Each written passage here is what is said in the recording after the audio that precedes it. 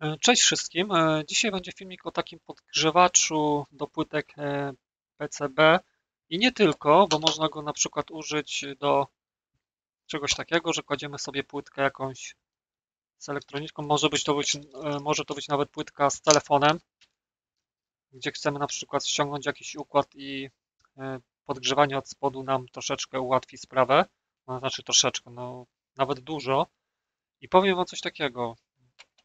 Generalnie są różne wersje na AliExpressie, które mają różne temperatury e, podgrzewania. Ta akurat ma chyba 260 stopni się nagrzewa, także to jest bardzo dużo i, i kładąc na przykład taką płytkę od telefonu i tu Wam od razu już pokażę, żebyście na przykład uważali przy jakichś tam e, e, różnych rzeczach, że jak położycie telefon, który ma wrażliwe jakieś elementy plastikowe bądź taka klawiatura, jak tutaj widzicie, membranka jest na taśmie, ona się stopi momentalnie. To mówię wam, to, to trzeba uważać i no i przede wszystkim e, mniejszą temperaturę bym zalecał z takiej płytki, bo 260 to no definitywnie uszkodzi wam e, różne plastikowe elementy, stopi wam, ale jest świetne do podgrzewania właśnie różnych takich rzeczy. No generalnie to jest reklamowane jako do ściągania diod e, S, płytek e, aluminiowych S, SMD. Dobrze mówię? No, po prostu mamy płytkę jakąś z diodami aluminiową, z której chcemy ściągnąć diody, no kładziemy na taką tom i sobie potem tylko pincetą łapiemy i diody same się odklejają bez problemu, odchodzą. Yy, No mówię, do telefonów trzeba uważać, bo kładąc taki telefon bezpośrednio na tej płytce, gdzie są jakieś wrażliwe bardzo na temperatury elementy, no to możemy więcej zaszkodzić niż sobie coś tam e, ułatwimy.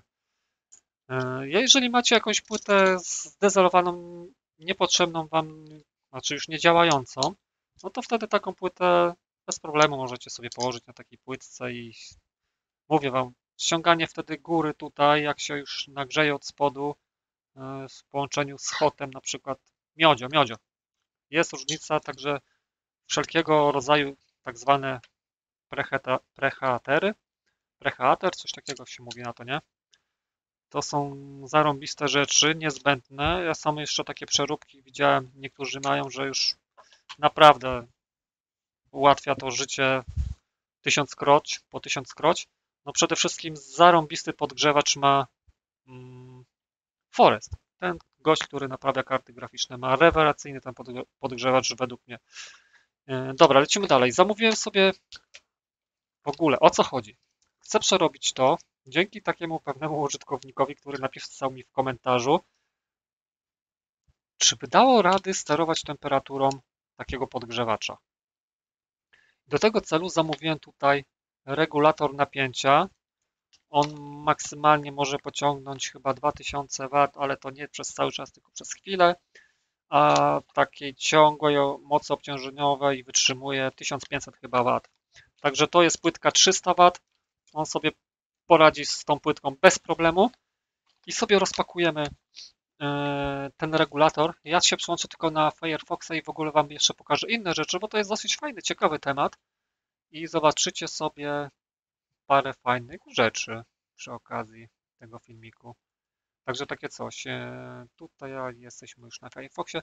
I tu jak widzicie macie te płytki na AliExpressie. Ja kupowałem w Gotroniku we Wrocławiu. Oczywiście jest drożej, bo to jednak gościu musi sprowadzić, zapłacić tam i zarobić jeszcze na tym i tak dalej. Ale na, ile, na AliExpressie macie takie płytki, no zobaczcie, cena od 8 zł do 10, także jeszcze to są różne wymiary, tak? E, Powiem Wam szczerze, że chciałbym mieć teraz większą taką płytkę, przynajmniej dwa razy większą, to już by było naprawdę z miodzio. Ja akurat kupiłem taką e, dosyć małą, zresztą przyłączę się jeszcze raz na widok z kamerki i pokażę Wam jakie wymiary ma ta płytka przy okazji. Ta płytka ma 70 na 70, 70 na 70 cm. Takie są wymiary tej płytki. Chciałbym mieć przynajmniej 14 cm długości, no to już by było superancko na jakieś do płyt telefonów, rewelacja wtedy. Eee, Dobra, przełączę się teraz z powrotem na Firefoxa i sobie będziemy troszeczkę patrzyli, co tam jest ciekawego. Widzicie, tutaj macie te płytki. Są różne wersje, różne temperatury mają. I tam ma akurat 200 na 300 W. Są dwie wersje i to będzie 260 i 270. 260 da 200 W i 300 W daje Wam 270. Nawet tu gdzieś jest pokazane.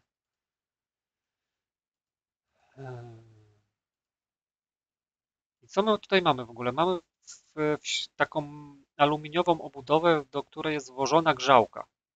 I powiem Wam coś takiego. Na AliExpressie można sobie kupić takie grzałki. To są 80 stopni, 120 i 220 stopni. Wow, superancko. A może ja mam 220, już nie pamiętam dokładnie jaka tam była temperatura. Może przesadziłem z tymi 260, chociaż nie, poczekajcie, tutaj ile jest? 260 w opisie? 260, nie, to ja mam 260, no, 260, dobrze, mówiłem. Ale tu macie takie coś, 80, rewelacja do jakichś delikatnych rzeczy, żeby coś podgrzać, na przykład ekran od telefonu, żeby ściągnąć go łatwiej, 120 stopni, nie, już bardziej chyba 120 stopni by się przydało do ściągania ekranów, gdzie jest na przykład yy, uszczelniany klejem, nie? Ta, taka temperatura do podgrzania ekranu LCD jakiegoś, myślę, jest spoko. No i 220 stopni, no, no tu już taka grzałka dosyć mocna, 100 stopni więcej, także ją bym raczej stosował do jakiegoś rozlotowywania elementów, niż do takiej jakiejś bardzo delikatnej zabawy z ekranami i tak dalej. No i tak to wygląda. No 0,99 USD, poczekajcie, odświeżę stronę. To mi się przełączy na polskie. 4 zł taka grzałka. Mógłbym zamówić kurczę sobie z dwie takie 120. No, to jest 120, a to jest na 12 V, widzicie? A, nie 220, tylko 12. Czyli taką grzałkę mógłbym podłączyć sobie pod zasilacz od yy, komputera, który mam ATX-a. Super sprawa, powiem Wam. I taki kurczę zasilacz ma chyba tam 25 amperów obciążenia. Nie no. Genialne, genialne. Dobra, lecimy dalej. Także wiecie, jak wyglądają te płytki. Widzicie, jakie są grzałki. I teraz przejdźmy sobie może tutaj, zresztą jak wpiszecie na, wpiszecie na AliExpressie podgrzewacz PCB, wyskoczy Wam mnóstwo rzeczy. Są bardzo ciekawe jeszcze takie na podczerwień grzałki. Też super sprawa. 450 W. No, no, no, mocne są. Także jest parę fajnych możliwości, które nam mogą ułatwić na przykład lutowanie różnych elementów albo rozlutowanie. Teraz przejdźmy sobie do tego regulatora napięcia mocy obrotów silnika 2000 W 230 V. Czyli ja go będę chciał połączyć sobie z tą płytką i tutaj jest opis, coś takiego pisze. Napięcie wejściowe 110-230 V AC, regulacja napięcia wyjściowe 50-250 V. Super sprawa, naprawdę. Ciekawy jestem, czy na 50 V, załóżmy, jak ustawię go na minimum, do jakiej temperatury rozgrzeje się właśnie ta, mm, ta płytka. I to sobie zmierzymy. I to chyba w jednym filmiku już pociągnę, tylko będę musiał sobie zrobić pauzę, tam przygotować e, miernik do pomiaru temperatury. Potem oczywiście kabel będę musiał rozciąć, połączyć z tym regulatorem i wtedy wyjście będzie, ten regulator będzie po prostu na kablu e, podłączony. Także będę mógł sobie regulować. Może fajnie by było, jakby go można było, znaczy można, jakbym miał jakieś pudełeczko plastikowego, do którego, do, do którego bym go włożył i wtedy bym z jednej i z drugiej strony wyprowadził sobie kabel. No to była fajna sprawa. Zresztą taki e, regulator napięcia obrotów silnika można zastosować na przykład do żarówki ściemniania, także to jest ciekawe urządzenie, fajne. Nie powiem. Albo jak mamy jakiś taś, taśmociąg, chcemy, żeby zwolnił. Mówię tu już o takich y, sytuacjach na przykład mm, firmowych, nie? Bo taśmociągu raczej w domu nie będziemy montowali. Chyba, że do robienia pierogów, jak ktoś robi dużo. Yy, oczywiście sobie żartuję. No dobra, tak to wygląda. Tu jest wejście, tu jest wyjście, dwa są. Czyli to będzie wyjście 50 V do tam 200 chyba 50, a tu jest wejście 220 i potem tym potencjometrem będę sobie regulował tą moc Bardzo ciekawy. Dziękuję Ci w ogóle, użytkowniku, jeżeli to oglądasz, że mi tak podpowiedziałeś. Zresztą ja już się zastanawiałem e, wcześniej nad takim czymś, ale Twój komentarz sprawił, że popchnąłeś mnie do zakupu tego e, regulatora mocy. Także fajna sprawa. Jeżeli to wyjdzie. I tu potencjometr jest, widzę, B500K. z B, tylko właśnie ciekawy jestem, jaki to jest, już nie pamiętam tych oznaczeń. Jest logarytmiczny i jeszcze liniowy, czy jakoś tak. Są dwa rodzaje tych potencjometrów. Znaczy więcej jest, ale jeżeli chodzi o mój przykład, to mówię dlatego tak, bo w gitarze kupowałem do tonów i do regulacji głośności i tam muszą być yy, tak zrobione, że do regulacji głośności jest potencjometr inny i do tonów też jest inny. Już nie pamiętam jaki idzie do tonów, czy liniowy, czy ten drugi. No dobra, ok. Wiemy to, wszystko już sobie zobaczyliśmy w necie. Teraz przełączmy się na tą kamerkę z paczuszką. Sobie rozpakujemy to. E, gdzie ja mam jakieś nożyczki? Gdzie ja mam jakąś piłę? nie wiem. Nie będę robił jakichś e, otwarć paczuszek, które mogłyby mi coś uszkodzić w domu. I nie tylko. No dobra, to już mamy. Sobie jeszcze tutaj utnę, żeby to było łatwiej rozpakować. Już oświetlenie żarówkowe, już zima, jest godzina 4, 16, 19. A już na dworze jest coraz ciemniej się robi. O, ładnie zapakowane, folia bobelkowa. Nie powiem, super. Tylko jest jedna sprawa, jeden motyw.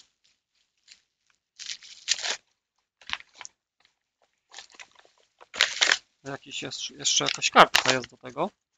Sobie zobaczę to najpierw e, z boku, żeby Wam tutaj nic nie pokazywać. A tu jest faktura, paragon. No, 8,50. Hmm.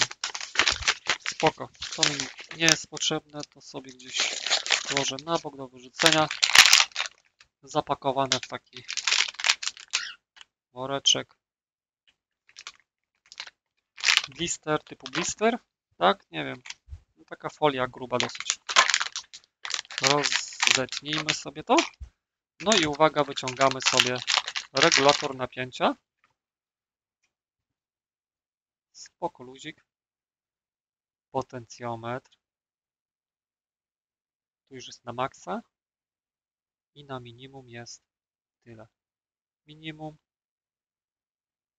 i na maksa. Fajna sprawa, naprawdę super. Nawet mógłbym to podłączyć kurczę pod jakąś żarówkę, żeby fajnie Wam to pokazać jak to działa. Tylko kurde, nie mam żadnej takiej obudowy, żeby tą żarówkę wkręcić na kablu. No, pokazałbym Wam kurde, na takiej żarówce, to by było fajne. Co by się działo. To jest e, normalna żarówka 220V E27 6500K 83 mA i 9,5 W ma. A to właśnie, ciekawe, czy taką 9,5 W y, to by obsłużyło, to nie wiem, minimum chyba ma od 50 W, czy jakoś tak. I tutaj co my mamy? Tak jak mówiłem, in N, in L. Spróbuję to pokazać, jak w środku. Może sobie troszeczkę podjaśnię żarówkę. O, przydaje się taki pilot. Widzicie, jest in L in n, czyli tu jest 220, wchodzi te dwa od góry i wyjście mamy dwa out L i out N. Tutaj jeszcze mamy coś takiego, że regulujemy sobie chyba minimalną wartość ob obciążenia. Gdzieś tam na opisie pisało radiator aluminiowy. Tutaj jest jakiś, nie wiem co to jest, E, za układ, co dokładnie steruje tym tranzystor jakiś, czy no dioda chyba raczej nie. Jakiś triak. To musielibyście się wypowiedzieć wy, bardziej doświadczeni użytkownicy. Ja jestem amatorem, ale ciągle się czegoś tam uczę w życiu, nie? No, tu są dwa jakieś kondensatory, rezystor. Co my tu mamy? Też jakiś kondensator i rezystor. No dużo elementów naprawdę nie ma.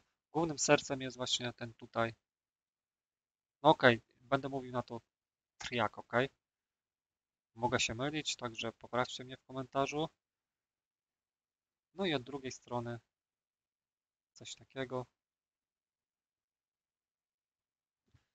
No i co? I teraz już to mam wszystko wyciągnięte i chciałoby się zrobić testa, wiecie? 220, jakiś kurczę kabel, żeby mógł podłączyć taki niepotrzebny od 220. Zastanawiam się teraz, czy coś takiego mam, czy będę musiał po prostu tego uciąć.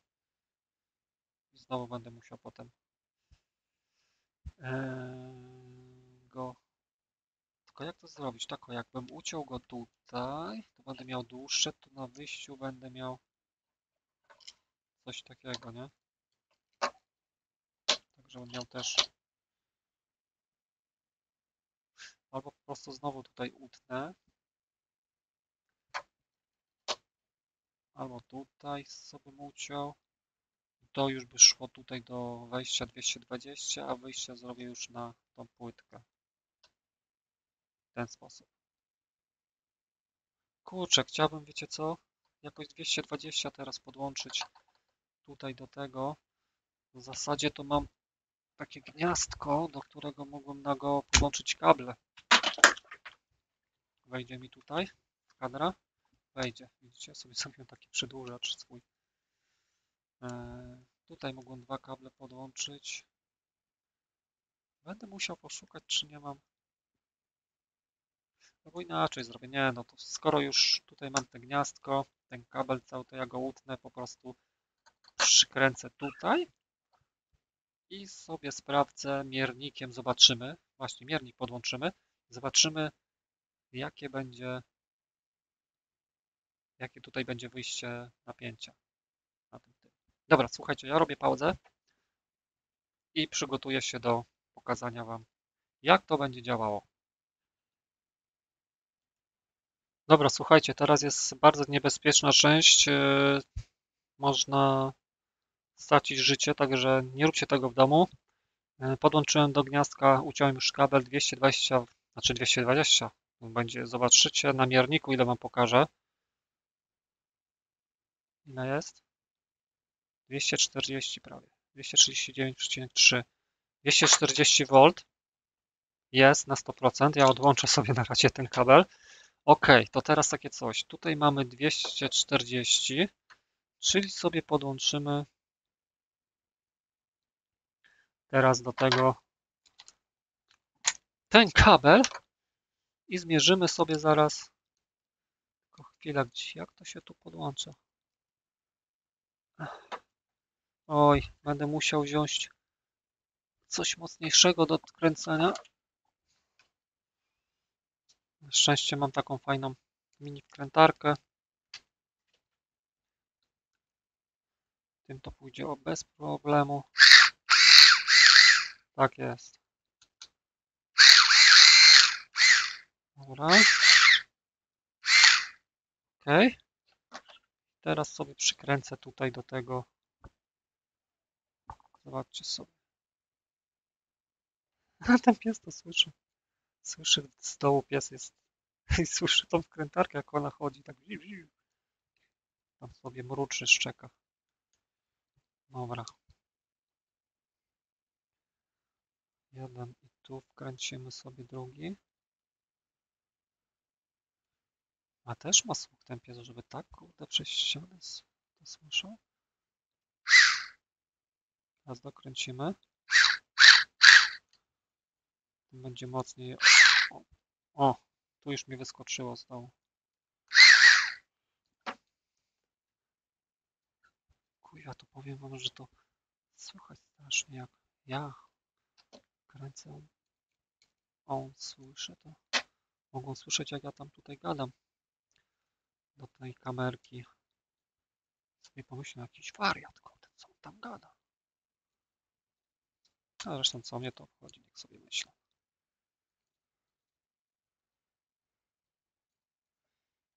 Ja muszę to dobrze tutaj włożyć. Jak to włożę, to wtedy przykręcę. Ok.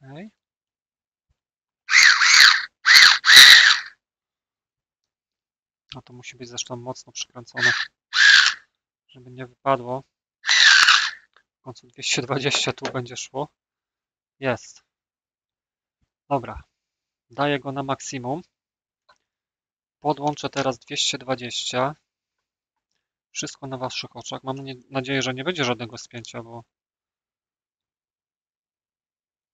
jeszcze raz się upewnię. Tu jest wejście. Wejście, dobra. Jest wejście. Trochę się cykam, nigdy tego nie robiłem. Dobra. Podłączone. Nic nie wybuchło. Mam miernik uruchomiony. Także ja sobie sprawdzę teraz, ile tu jest na wyjściu. 237 i pół. To teraz zróbmy sobie coś takiego. Na żywca 238. I teraz skręcę regulatorem.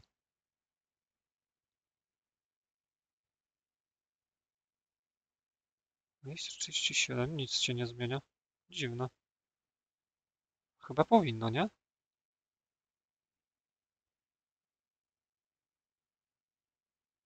Ej, no jestem w szoku. Dlaczego? Tu się nic nie zmienia, a jak tutaj bym 238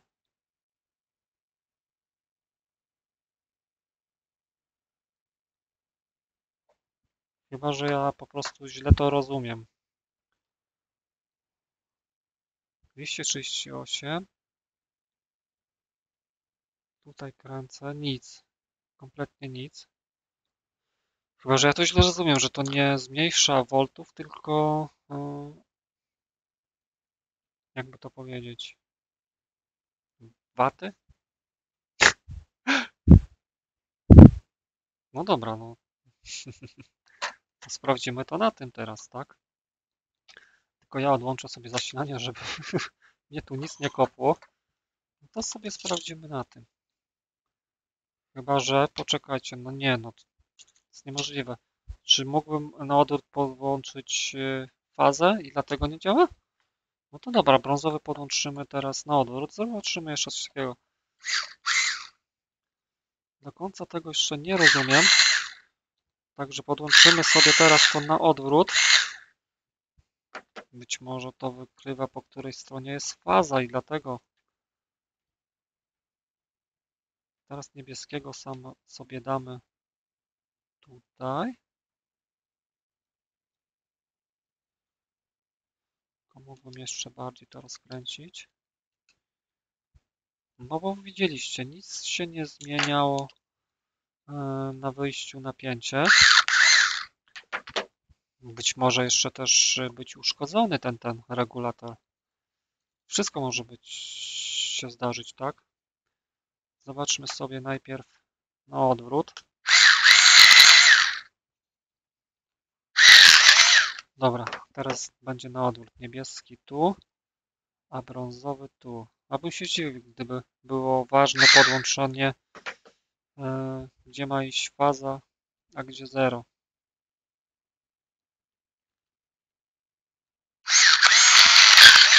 Dobra. Podłączone. Na odwrót. Znowu sobie podłączę do zasilania, do gniazdka. Zmierzymy sobie miernikiem, czy mamy tu 202, 240. Jest 240. 238. No dobra. To teraz takie coś. Daję sobie na maksa 238,6 i kręcę teraz. Nic. Żadnej zmiany na wyjściu. Nic nie reaguje. Tak samo 238. Dobra, 238. Tu jeszcze jest ten potencjometr. Tylko jak, y, jak to zmierzyć? Wiecie co, ja obrócę na razie, teraz jest na maksa. Obrócę to tutaj i zobaczę na tym potencjometrze. y, tu i tu. 11,7. 11,7.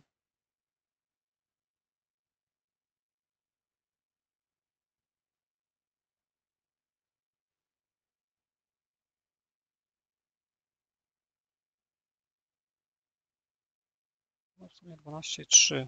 Jak teraz będę kręcił w drugą stronę, czy tu coś się zmieni?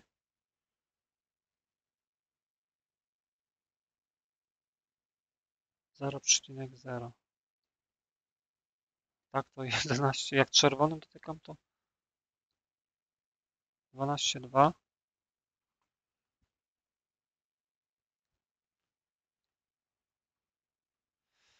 Hmm, Wiecie co? Ja chyba to źle. Ja musiałbym przełączyć miernik w ampery.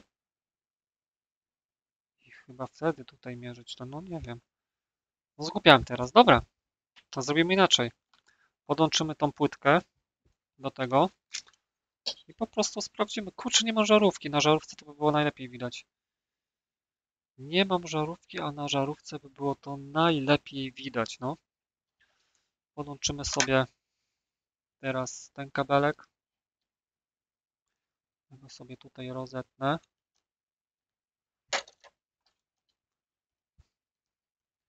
I zobaczymy, czy tą grzałką będzie można e, sterować temperaturę. Bo jeżeli nie, będzie się nagrzewała tam do ponad 200, niezależnie jak będę kręcił tym tym, to znaczy, że albo nie ustawiłem tutaj tym potencjometrem wyjścia, jakie ma być, minimalne, albo jest uszkodzony ten regulator. To się dowiemy zaraz. W sumie mam nadzieję, że to się zaraz wyjaśni. Mm.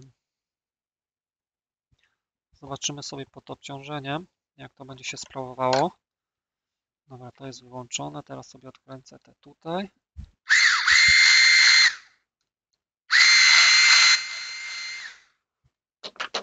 OK. Podłączmy sobie niebieski. Najpierw. Dobra. I teraz brązowy. Dobra. Słuchajcie, podłączone wszystko. I wiecie co? Ja zrobię pauzę, idę po miernik temperatury i zobaczymy, jak to się będzie rozgrzewało. Bo to jest najważniejsze w tym teście. Dobra, słuchajcie, 28 minut to już trwa. Miernik, tem miernik temperatury z termo, nie termoparą, a z końcówką typu K, typu K do 400 stopni mogę mierzyć sobie tutaj temperaturę. No i teraz sprawdźmy, daję na maksimum tutaj, podłączam to do prądu. Mam nadzieję, że nic nie wybuchnie.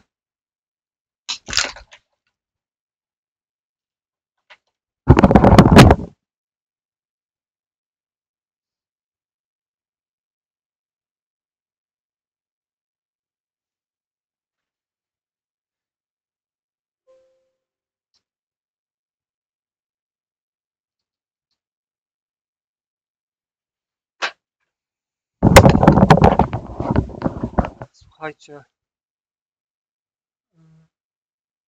to się nagrywa. Było spięcie, odłączyłem mu. Dobra, słuchajcie, jest, będzie mnie słychać na pewno. Spięcie zrobiłem. Wywaliło mi korki, laptop chodzi na baterii, na szczęście nie wyłączył się, dlatego OBS ciągle działa. I kurwa, co ja źle zrobiłem tutaj? Powiedzcie mi, co ja źle zrobiłem? Podłączyłem wszystko, zresztą dobra, idę włączyć korki, robię pauzę i dalej będziemy nagrywać. Było spięcie. Pierdolnęła iskra.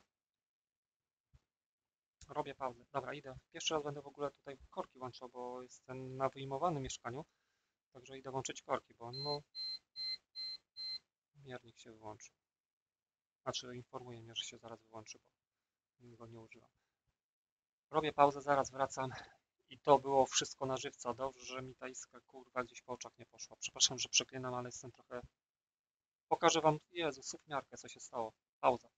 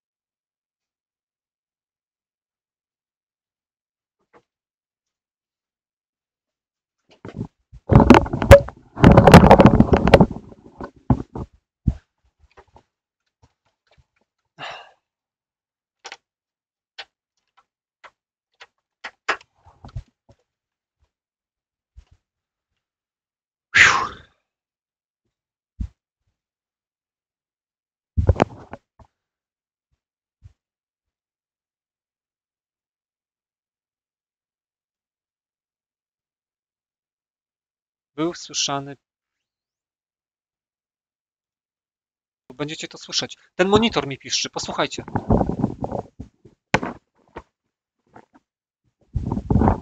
Ok, ja wyłączam, robię pauzę, włączam monitor, bo wiem, że coś tu masakrycznie piszczy i to być może jest kondensator, a nie chcę go totalnie zniszczyć.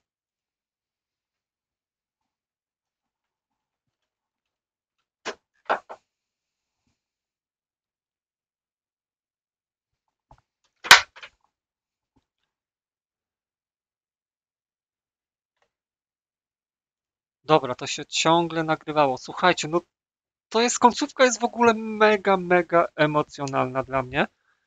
Spięcie, teraz jeszcze piszący monitor i przy okazji to jest jakaś wskazówka, co się może dziać e, z tym monitorem. Piszczał, bardzo głośno piszczał monitor, ten co mi się włącza, wyłącza. Nie wiem, czy to był kondensator, cholera, czy coś innego i prawdopodobnie to jest ta uszkodzona część, co teraz tak mocno piszczała w tym monitorze, także dajcie mi też e, podpowiedź. O, dostałem nawet teraz odpowiedź na ten podgrzewacz PTC, do którego teraz robię filmik. Także będzie ciekawie. I patrzcie, zrobiło się spięcie. Co zro... Dobra, najpierw co zrobiłem? Podłączyłem tutaj 220. Zobaczcie, to jest ciągle już włączone z prądu. Podłączone jest tak o. Tutaj jako in 220.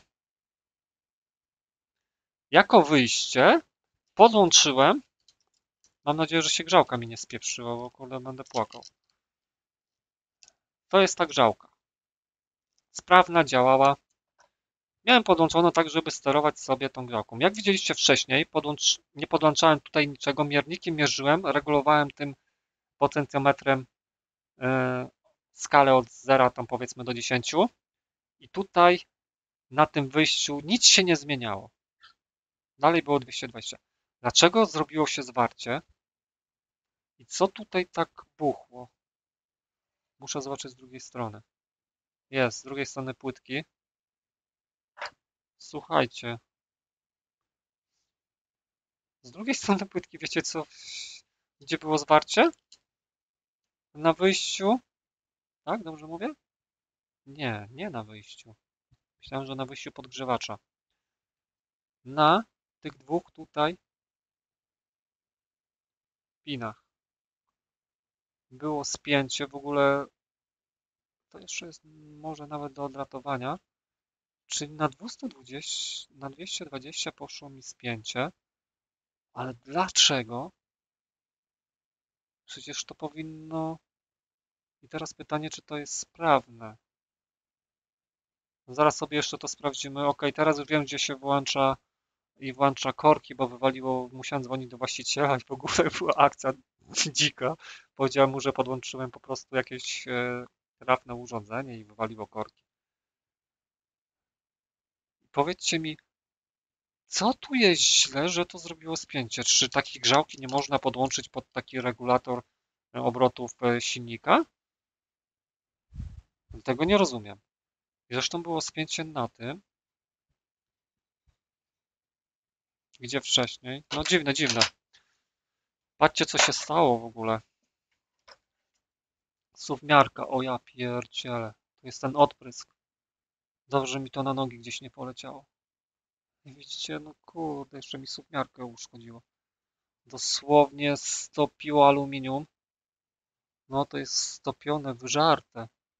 Ej, wiecie co, to, to nie są żarty. Serio, bo gdyby mi to gdzieś poleciało, nie daj Boże, w kierunku oczu, Dziękuję Bogu, że stało się tak, jak się stało. Mogło to, to polecieć no, na moje ciało. To naprawdę. No nie, nie, nie, nie chcę myśleć, kurde, co by się stało. Poleciało na submiarkę na, na element, który praktycznie był najbardziej chyba odporny na ten wybuch. Dobrze, że na miernik nie poleciał, bo jak gdyby gdyby mi prysło gdzieś tutaj na miernik, na, na szybkę, no to by go przetopiło. Bez dwóch zdań. I teraz w ogóle boję się to podłączać, bo na razie zrobię coś takiego. Odłączę grzałkę od tego.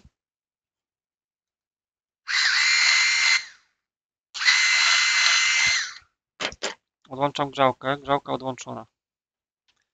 Mam nadzieję, że grzałka nie jest uwalona. Zaraz na końcu ją sprawdzimy. I teraz zrobimy sobie coś takiego. Kurde, nie chcę tego znowu podłączać. Hm. Ja się zastanawiam, czy nie zostawić Wam opinii e, w komentarzu i jakoś zakończyć ten filmik na tym. Ale wiecie co? Jeszcze, jeszcze jedną rzecz sprawdzę. Dobra, nie. Zrobię inaczej. Już się, już się boję nawet, wiecie co, podłączać to z powrotem, bo wiem, że będzie spięcie na pewno, bo gdzie to poszło? Tutaj idzie i do czego to idzie? Do tego, do wejście z... To jest w ogóle jakoś, kurde, tak dziwacznie. Tak jakbym musiał podłączyć pod to.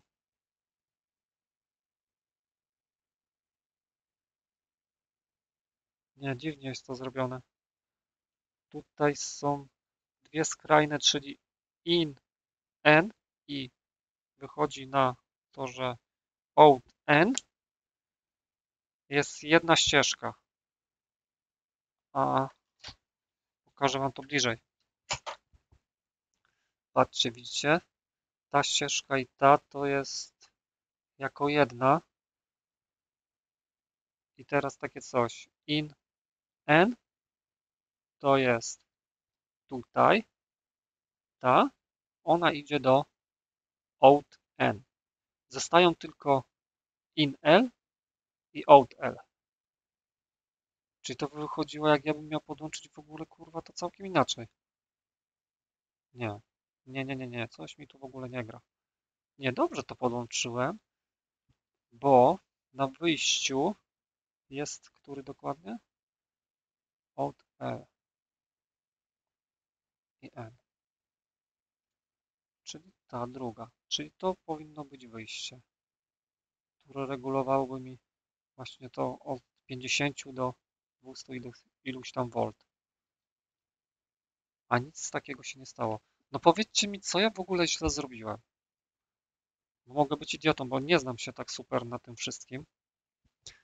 I teraz coś takiego, dobra, ja już na razie to nie będę podłączał. Będę czekał na Wasze komentarze, żeby dalej e, z tym coś porobić. Generalnie nie wiem, czy to teraz będzie działało. Sprawdzę sobie, e, sprawdzę sobie grzałkę, czy grzałka działa. E, Gdzie ja położyłem tą grzałkę? Szkoda by mi było grzałki. Sobie ją podłączę na razie taką na sucho. Gdzie ja tą grzałkę, kurde? Z, no z wrażenia teraz nie wiem. O, dobra, jest tutaj. Dobra, słuchajcie. Ja sobie podłączę grzałkę. Niebieski do niebieskiego.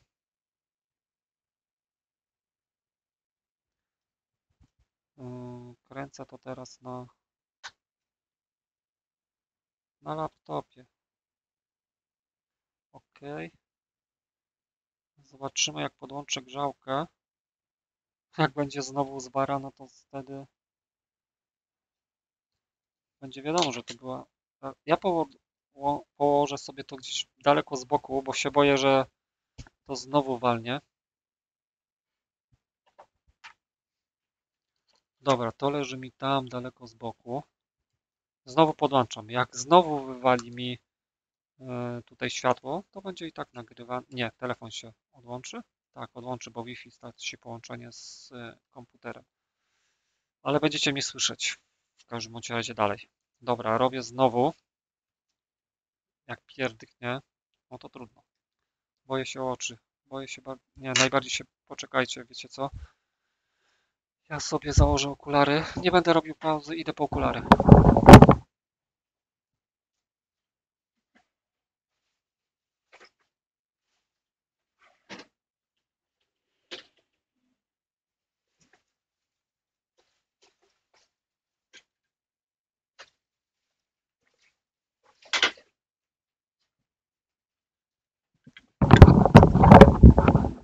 Pokażę Wam, jakie okulary założę. Chociaż wątpię, żeby one pomogły przy takim odprysku, gdzie przetopiło aluminium, ale zawsze coś.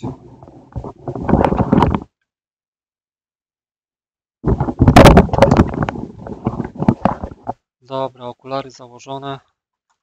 Ja znowu podłączę to. My God, boję się. Naprawdę, wiecie co, jak uświadomicie sobie, jak może być e, niebezpieczny taki odprysk przy zwarciu, to naprawdę mm, człowiek o zdrowych umysłach będzie się bał. Nie ma zwarcia. Grzałka podłączona. Ona sobie leży tutaj. I powiem Wam, czy grzeje. Zaczekam chwileczkę. Niech się ona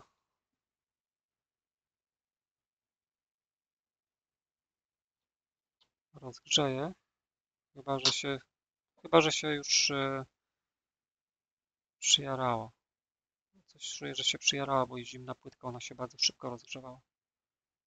No, szkodzona jest. Nie grzeje.